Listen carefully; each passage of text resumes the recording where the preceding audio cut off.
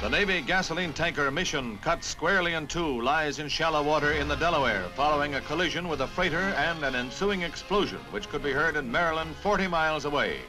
At the time these pictures were made, nine of the crew members of the tanker, including its captain, were missing. The freighter, the Elna II of Liberian registry, also caught fire but was beached and the flames brought under control. Some of the crew, badly injured and burned in the explosion, are removed by the Coast Guard Army engineer tugs for treatment ashore.